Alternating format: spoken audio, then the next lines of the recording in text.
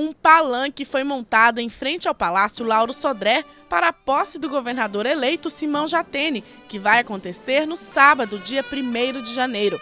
E nesta quinta-feira foi realizado um ensaio geral da cerimônia, com os 100 homens da Guarda de Honra Integrada, da Polícia Militar e Corpo de Bombeiros.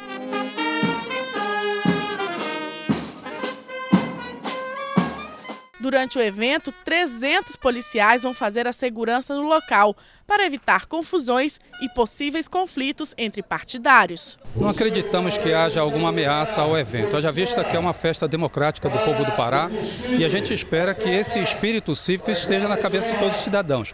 Mas a tropa da Polícia Militar disposta aqui no evento está em condições de atender qualquer tipo de distúrbio que possa acontecer. No dia 1 Simão Jatene vai participar de uma missa na Igreja da Sé, que vai ser celebrada pelo arcebispo metropolitano Dom Alberto Taveira.